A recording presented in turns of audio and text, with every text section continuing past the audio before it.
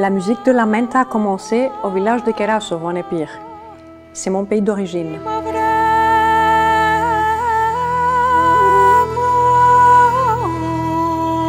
J'assure là la direction d'un festival artistique de musique et de danse. On a fait là la rencontre avec Kuhn et on a décidé de partir sur ce projet musical au début et de danse ensuite. On a choisi de vieilles chansons de séparation et d'exil, des chansons qui parlent de la perte, de la douleur et aussi de la perte physique. Ce sont des lamentations, Miroloi,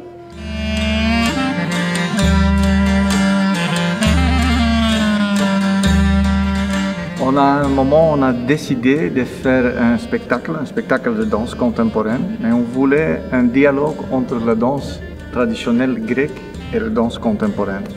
Et puis à un moment, je suis arrivé en Épire, et puis j'ai euh, rencontré des, super musiciens là, là qui jouent de musique traditionnelle comme le Nikos Philippidis Orchestra.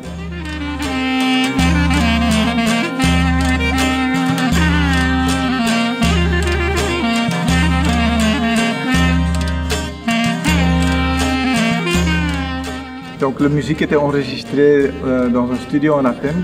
Les musiciens étaient déjà pour deux jours en train de travailler ensemble avec Magic Malik et, je suis arrivé pendant qu'ils étaient en train de jouer de la chair de poule, de frison. Et donc le musicien il et il sort du studio et il disait pourquoi tu as, tu as froid ou quoi donc, euh, donc il a de l'humour aussi.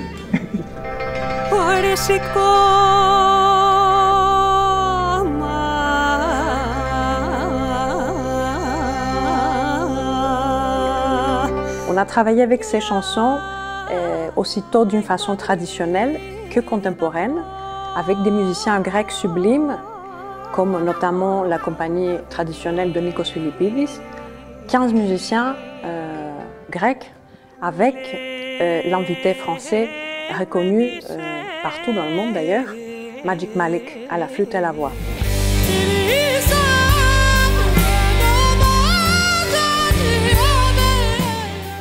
Magic Malik est une vieille âme et qui peut euh, atteindre le sacré et qui va, chercher des choses euh, vraiment euh, célestes. Et donc, on avait besoin de ce contraste entre la terre et le ciel et cette, espèce de pompe énergétique entre les deux pour pouvoir finalement se libérer.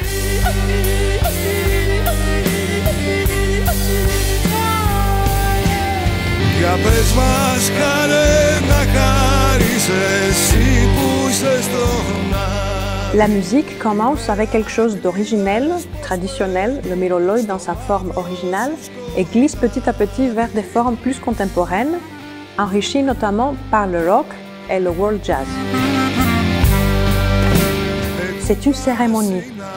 C'est une cérémonie qui emmène l'auditeur et le spectateur de la lamentation, de quelque chose de très douloureux, très profond, vers un catharsis et finalement vers quelque chose de très extatique, vers la vie. C'est d'ailleurs pour cela que le dernier morceau du disque s'appelle Zoé, vie.